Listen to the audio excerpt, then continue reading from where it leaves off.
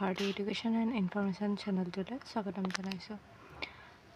আজি আমি অধ্যয়ন কৰিব ওলাইছোঁ অষ্টম শ্ৰেণীৰ নিয়ৰ নামৰ কবিতাটি। তেন্তে আহক ভিডিঅ'টো ষ্টাৰ্ট কৰোঁ। নিয়ৰ। প্ৰকৃতিৰ ৰূপ বৈচিত্ৰই মানুহৰ মনলৈ কঢ়িয়াই আনে অনাবিল সুখ। প্ৰতিটো পুৱাই আমাৰ অজানিতে দি যায় আশাৰ বতৰা। এই বৰ্ণময় বাৰ্তাৰ অন্যতম বাহক হ'ল নিয়ৰ। মুকুতা সদৃশ নিয়ৰ কণাবোৰ ঘাঁহ বনৰ ওপৰত কাহিলী পোৱাতে জিলিকি থকা দেখিলে। আমাৰ মনলৈ নানা ভাৱ অহাটোৱেই স্বাভাৱিক। ফটিক পানীৰে ধোৱা এই নিয়ৰৰ কণাবোৰ যেন নিশাৰ আকাশৰ পৰা সৰি পৰা তৰাৰ এক অনবদ্য ৰূপ। কবিৰ কল্পনাত নিয়ৰৰ নিৰ্তৰতা পৃথিৱীৰ ডিঙিৰ পৰা ছিঙি পৰা একোটি মণি অথবা পুৱাৰ পোহৰত সেমেকি উঠা এটোপাল চকুপানী মুকুতা মণিটি পাহিত জিলিকে ফটিক পানীত ধোৱা নিশাৰ তৰা এটি সৰি আহে আছে সৰগত টোপনি যোৱা। নিজম আকাশৰ নিচুক কথাটি হিয়াত থৈছে সাঁচি কোন কাহানিৰ সপোন দেখিছে কোনে হাঁহিছিল নাচি? ফুলনিত কোনে নিশা নাচিছিল ছিঙি ৰৈ গ'ল মণি ৰঙিলীৰ ভাৱ হাঁহি নাচোনৰ ৰ'ল চিন এই কণী। পুৱাৰ হেঙুলি বেলিটিলৈ চাই এটুপি চকুৰ পানী নিয়ৰ কলিৰে শুভে ফুলজুপি চাইছোঁ ভাৱতে ভাহি হাই কি বিষম পেলালে বায়ুৱে জোকাৰি ফুলৰ পাহি? উক্ত কবিতাটি কবি চন্দ্ৰকুমাৰ আগৰৱালা ৰচিত। চন্দ্ৰকুমাৰ আগৰৱালাৰ বিষয়ে পঢ়োঁ।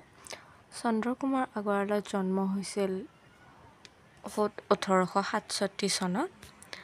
অসমীয়া সাহিত্যলৈ ৰোমান্টিক সাহিত্যৰ ঢল বোৱাই অনা কবিসকলৰ ভিতৰত চন্দ্ৰকুমাৰ আগৰৱালা অন্যতম। তেখেতৰ শ্ৰেষ্ঠ কবিতা পুথিখন হ'ল প্ৰতিমা সেইবাবে তেখেতক প্ৰতিমাৰ খনিকৰ বুলিও কোৱা হয়। তেখেতৰ কবিতা পুথিসমূহ হ'ল প্ৰতিমা বীণ বৰাগী চন্দ্ৰামৃত আদি। তেখেতে জোনাকী কাকতৰ প্ৰথম সম্পাদক আছিল। ঊনৈছশ আঠত্ৰিছ চনত তেখেতৰ দেহাৱসান ঘটে। লক্ষ্মীনাথ বেজবৰুৱা চন্দ্ৰকুমাৰ আগৰৱালা আৰু হেমচন্দ্ৰ গোস্বামী এই তিনিজনক সেই সময়ত অসমীয়া সাহিত্য চৰ্চা কৰাসকলে জোনাকীৰ ত্ৰিমূৰ্তি বুলি ঘোষণা কৰিছিল। এই ত্ৰিমূৰ্তিৰ অৱদান সৰ্বজন সমাদৃত। তেনেতে আহক আমি এতিয়া কুৱেশ্যন এনচাৰসমূহ আলোচনা কৰোঁ মুকুতামণিটি বুলি কবিয়ে কিহক বুজাইছে? মুকুতামণিটি বুলি কবিয়ে নিয়ৰ টোপালক বুজাইছে। নিয়ৰক কবিয়ে কাৰ কাৰ লগত তুলনা কৰিছে? নিয়ৰক কবিয়ে নিশাৰ তৰা আৰু মুকুতামণিৰ লগত তুলনা কৰিছে। নিয়ৰে হিয়াত কি সাঁচি থোৱাৰ কথা কৈছে? নিয়ৰে নিজম আকাশৰ নিচুক কথাটি হিয়াত সাঁচি থোৱাৰ কথা কৈছে। ফুলনিত কি ছিগি ৰৈ গ'ল? ফুলনি নিশা নচা নাচনীৰ ডিঙিৰ মণি ছিগি ৰৈ গ'ল। কবিয়ে কি সৰি থকাৰ কথা কৈছে? কবিয়ে নিশাৰ তৰা এটি নিয়ৰ হৈ সৰি থকাৰ কথা কৈছে। এতিয়া গৈছোঁ কবিতাটোৰ মূল ভাৱ কবিতাটোৰ মূল ভাৱ চমুকৈ লিখা। প্ৰতিমাৰ খনিকৰ কবি চন্দ্ৰকুমাৰ আগৰৱালা দেৱৰ দ্বাৰা ৰচিত নিয়ৰ এটা ৰোমান্টিক কবিতা। কবিতাটিত কবিয়ে প্ৰকৃতিৰ উপাদান নিয়ৰক বিষয়বস্তু হিচাপে লৈ কল্পনাৰ ৰহন সানি সুন্দৰভাৱে উপস্থাপন কৰিছে। প্ৰকৃতিৰ ৰূপ বৈচিত্ৰই মানুহৰ মনলৈ কঢ়িয়াই অনা অনাবিল সুখ। প্ৰতিটো পুৱাই আমাৰ অজানিতে দি যায় আশাৰ বতৰা। এই বৰ্ণময় বাৰ্তাৰ অন্যতম বাহক হ'ল নিয়ৰ।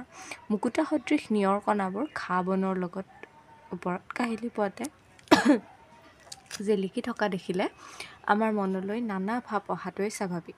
কবিয়ে নিয়ৰক নিশাৰ আকাশৰ পৰা সৰি পৰা তৰা নিত্যৰতা পৃথিৱীৰ ডিঙিৰ পৰা ছিঙি পৰা একোটা মণি অথবা পুৱাৰ পোহৰত সেমেকি উঠা এটোপাল চকুপানীৰ লগত তুলনা কৰিছে। শব্দ সম্ভাৰ আৰু অভিধান চাই তলৰ শব্দবোৰৰ অৰ্থ লিখা ফটিক ফটিকৰ অৰ্থ হৈছে স্বচ্ছ নিৰ্মল আৰু পৰিষ্কাৰ। শোভে শুৱনি কৰি তোলে। হেঙুলি হেঙুল বৰণীয়া নিজম। নীৰৱ। নিচুক কান্দোন সামৰি স্থিৰ হোৱা প্ৰসংগ সংগতি দৰ্শাই ব্যাখ্যা কৰা।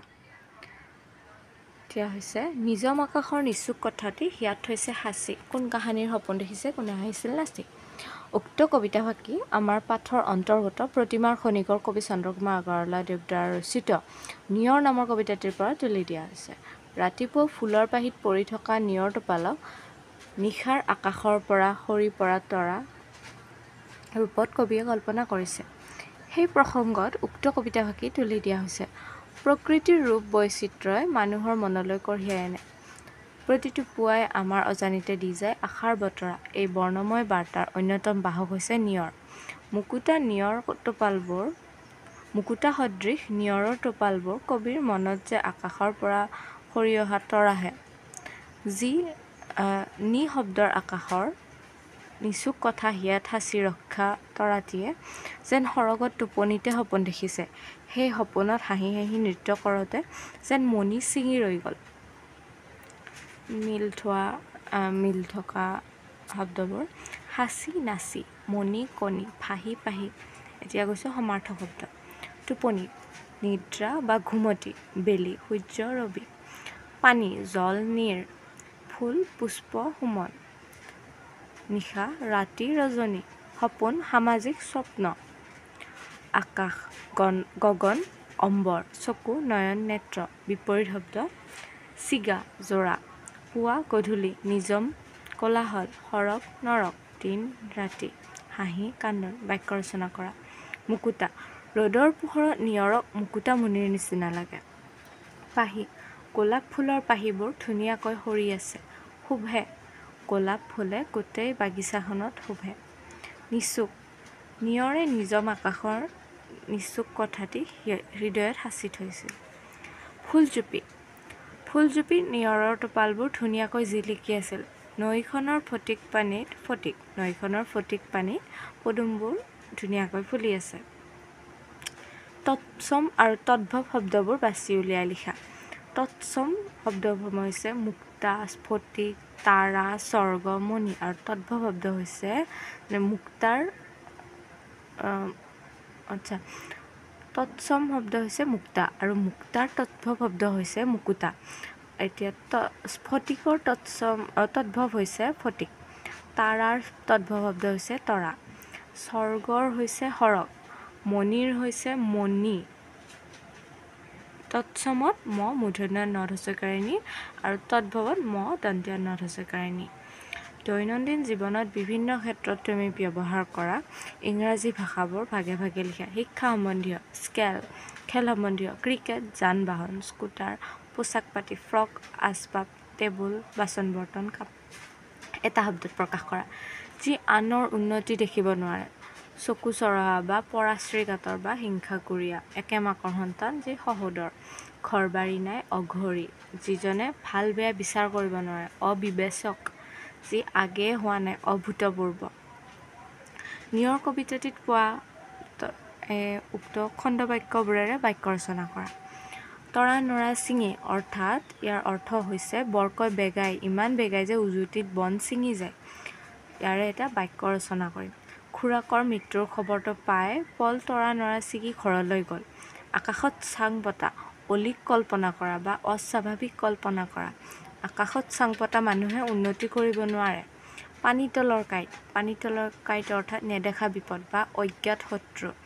ৰমেনে জনাই নাছিল যে বন্ধুৰ বেশেৰে তাৰ ঘৰতেই পানীতলৰ কাঁইট লুকাই আছিল। কথা চহকী খুব বেছিকৈ কথা কোৱা লোক অবিনাশ গোটেই শ্ৰেণীটোৰ ভিতৰতে কথা চকী হিয়াৰ আমঠু অতি আদৰৰ। প্ৰত্যেক সন্তানে নিজৰ মাক দেউতাকৰ হিয়াৰ আমঠু। অলিক সপোন অমূলক কল্পনা। অলিক সপোন দেখি সময় নষ্ট কৰিব নালাগে। চকু চৰহা যি ব্যক্তি লোকৰ ভাল দেখিব নোৱাৰে। চকু চৰহা লোক সকলোৱে অপ্ৰিয় হয়। চকু চৰহা লোকবোৰ সকলোৰে অপ্ৰিয় হয়। তলৰ বাক্যকেইটিৰ খালী ঠাই অৰ্থসংগতি ৰাখি ভাগি ভাঙি ছিঙি ছিঙি বৰ পুৰাণ। মেৰামতি নকৰাৰ বাবে জহি খহি ঘৰটো ভাগি গ'ল। ধুমুহাই ঘৰটো ভাঙি পেলালে। পুৰণি হোৱা বাবে ৰছীডাল ছিগি থাকিল। জোৰকৈ টনা আজোৰা কৰাৰ বাবে ৰছীডাল ছিঙি গ'ল। এবছৰ নহওঁতেই মথাউৰিটো ছিগি গ'ল। বানপানীয়ে মথাউৰিটো ছিঙি পেলালে। আছে?